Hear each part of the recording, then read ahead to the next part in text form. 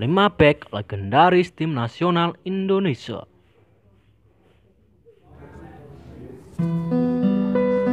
Nomor 5 Jaya Hartono berposisi sebagai back kiri.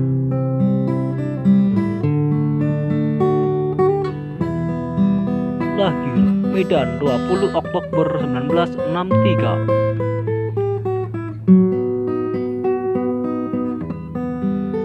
Semifinalis Asian Games 1986 Seoul emas SEA Games 1987 Jakarta. Perunggu SEA Games 89 Kuala Lumpur. Perunggu SEA Games 1993 Singapura. Jaya Hartono juga membela tim nasional di beberapa ajang. Antaranya World Cup Asian Qualification, Juara Piala Kemerdekaan,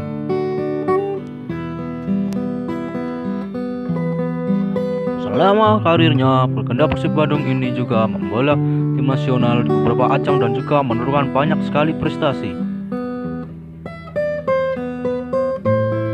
Jaya Hartono dikenal dengan back kiri dengan yang sangat-sangat hebat dan sangat kuat di lini pertahanan tim nasional Indonesia.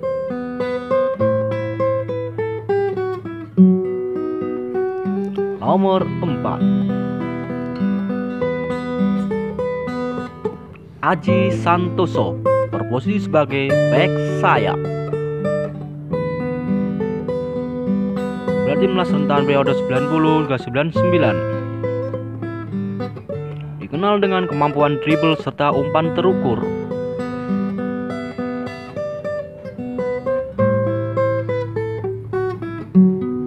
Pergerakannya di sisi kanan pertahanan lawan acap kali merepotkan lini pertahanan lawan. Ia juga menurunkan beberapa prestasi bersama tim nasional Indonesia, di antaranya emas SEA Games Manila 1991. Medali perak SEA Games Jakarta 1997 setelah dikalahkan Thailand lewat drama adu penalti telah bermain imbang satu-satu di waktu normal.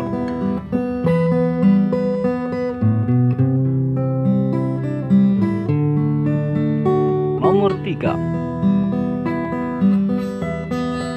Robbie Darwis berposisi sebagai center back. Membela timnas rentan waktu 1987 hingga 1997 dengan tampil 53 caps dan 6 gol. Lahir Bandung 30 Oktober 1964. Semifinalis Asian Games 1986 Seoul, Piala Kemerdekaan 1987.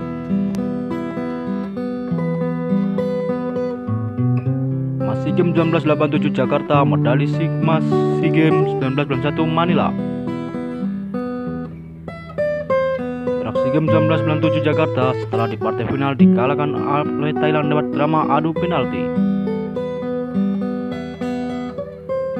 Nomor 2 Ramlan Yatim Juga membela tim nasional di ajang Asian Games 1954 dan 1958 di Asian Games.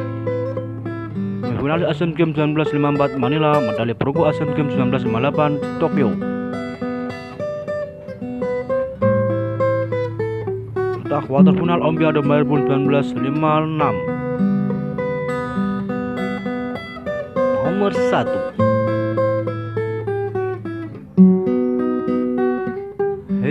Kiswanto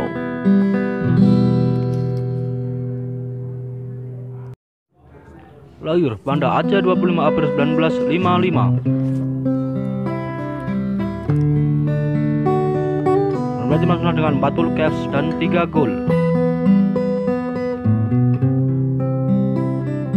Prestasi yang dia peroleh adalah perunggu SEA Games 1981, 1989, perak SEA Games 1983.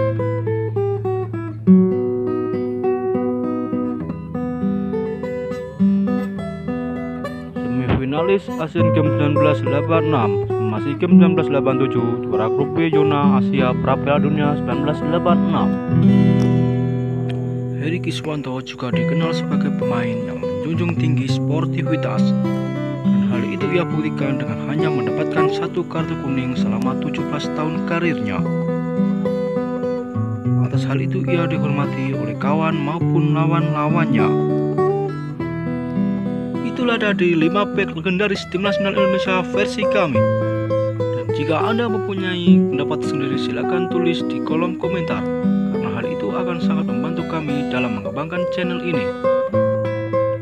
Terima kasih dan sampai jumpa di video kami selanjutnya.